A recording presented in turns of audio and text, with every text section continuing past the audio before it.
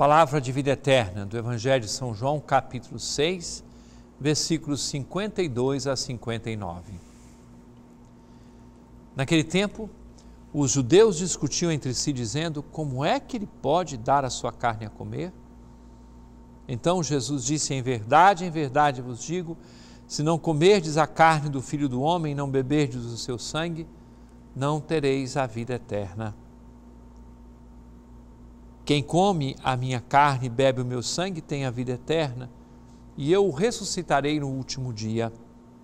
Porque a minha carne é verdadeira comida e o meu sangue verdadeira bebida. Quem come a minha carne e bebe o meu sangue permanece em mim e eu nele. Como o Pai que vive me enviou e eu vivo por causa do Pai, assim o que me come viverá por causa de mim. Este é o pão que desceu do céu não é como aquele que vossos pais comeram. Eles morreram. Aquele que come este pão viverá para sempre. Assim falou Jesus ensinando na sinagoga de Cafarnaum.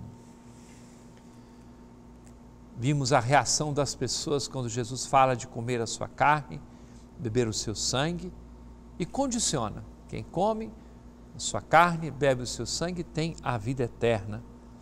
As pessoas se assustaram. Era como dizer, é, é demais para nossa cabeça pensar numa coisa dessas. O sangue, por exemplo, tocar no sangue para o ambiente judaico era uma coisa terrível.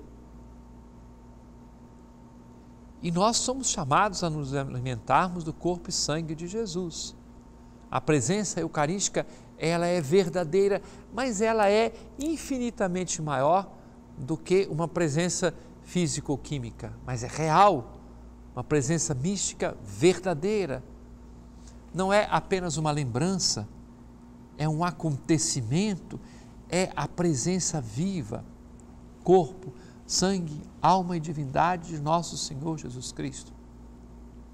Exceto nos milagres eucarísticos feitos por nosso Senhor para reforçar a fé, normalmente o tomar a Sagrada Comunhão não vai levar-nos a experimentar gosto de carne ou de sangue, porque a presença é real, mas é muito maior, porque nós somos muito limitados e ficamos pensando que o que é real é só aquilo que, que mexe com os nossos sentidos.